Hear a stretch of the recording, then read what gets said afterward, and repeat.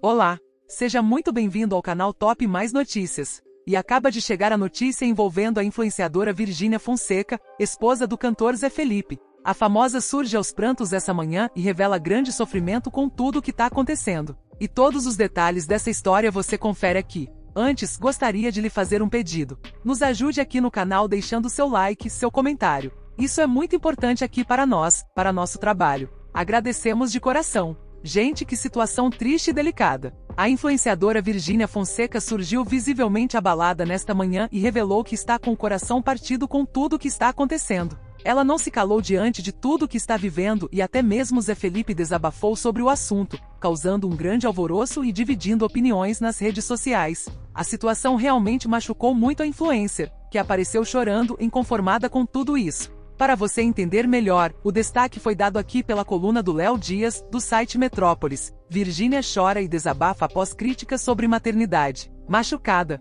Não é de hoje que a famosa sofre diversas críticas sobre a maternidade, especialmente por contar com babás que a auxiliam na criação das filhas. Mas hoje tudo desabou e ela simplesmente sucumbiu ao choro e à tristeza. Chorando e abalada, ela fez um desabafo em seu Instagram, após um comentário do jornalista Evaristo Costa, dizendo que mãe é quem cria. Isso abalou profundamente a influenciadora, que refletiu que assim como em vários outros casos no mundo, ela não deixa de ser mãe de suas filhas por elas terem babás.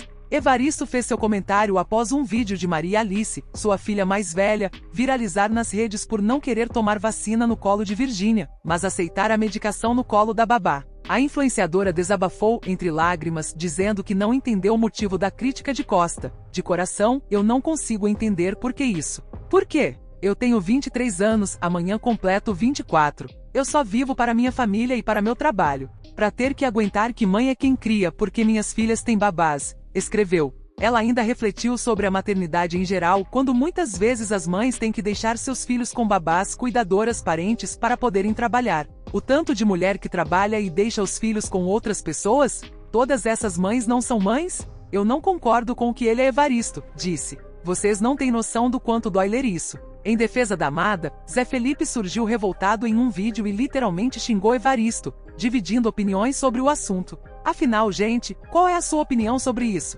Acha que ela é menos mãe por contar com uma rede de apoio? Por contar com a ajuda de babás? Vai deixando seu comentário. Até o próximo vídeo.